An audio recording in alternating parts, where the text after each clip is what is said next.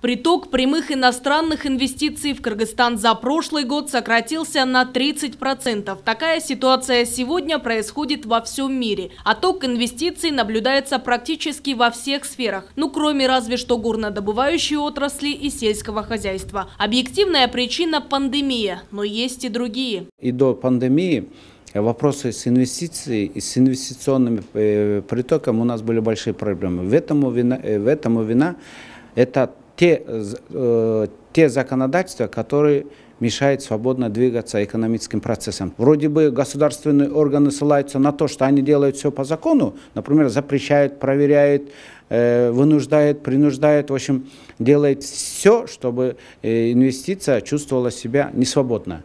И поэтому все эти законы надо пересмотреть в соответствии с экономическими закономерностями. Мы уже этим вопросом занялись. Это требует определенного времени, мы сейчас неустанно этим занимаемся. В указе главы государства даны конкретные рекомендации правительству, в том числе за три месяца разработать пакет законопроектов, чтобы повысить эффективность судебных органов по обеспечению надежной защиты прав и законных интересов предпринимателей и инвесторов, а еще, чтобы иски субъектов предпринимательства рассматривались быстрее. Чтобы улучшить инвестклимат, во-первых, нужно создавать условия для всех предпринимателей, как для иностранных, так и для отечественных.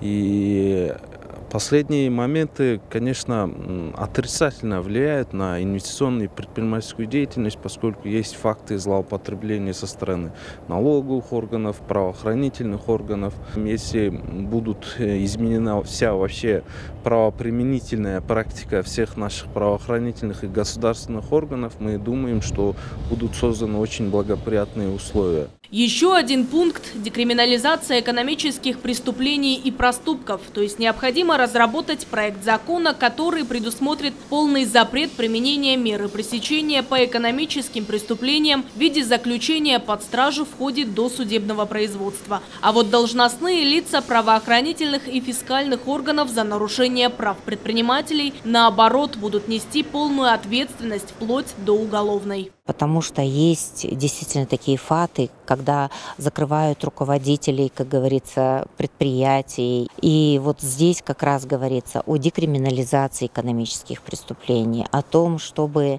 инвесторы, не только иностранные инвесторы, но наши отечественные инвесторы чувствовали себя спокойно, что да, можно инвестировать в Кыргызскую республику, ты не потеряешь эти деньги. Правам и интересам предпринимателей и инвесторов отныне внимание будет уделено уделено особое. На это направлен указ президента. Кыргызстан должен стать инвестиционно привлекательным, а для этого инвесторы должны чувствовать себя более защищенными.